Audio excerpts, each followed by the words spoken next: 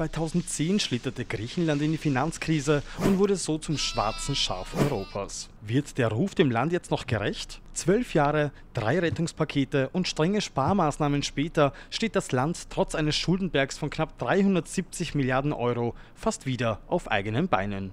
Nach knapp zehn Jahren EU-Kontrolle könnte Griechenland jetzt bald seine Finanzen wieder selbst bestimmen.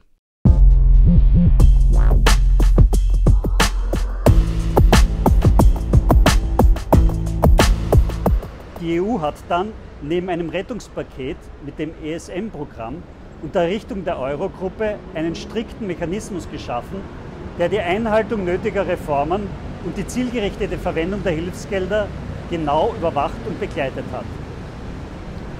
Dieser notwendige Verlust an Souveränität ging nicht nur mit einer spürbaren Einschränkung des Lebensstandards fast aller Bevölkerungsgruppen einher, sondern war auch ein schwerer Schlag für das Selbstbewusstsein dieser stolzen und freiheitsliebenden Nation.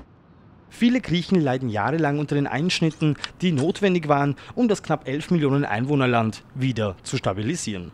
So mussten Behörden verschlankt, Staatsbesitz privatisiert und das Rentensystem reformiert werden. Aktuell übersteigen die Staatsschulden immer noch die griechische Wirtschaftsleistung mit 206 Prozent um mehr als das Doppelte. Auch wenn der gewaltige Schuldenberg nicht verschwunden ist, wurden doch Strukturen geschaffen, die eine Wiederholung des damaligen Szenarios des Schreckens verhindern sollen.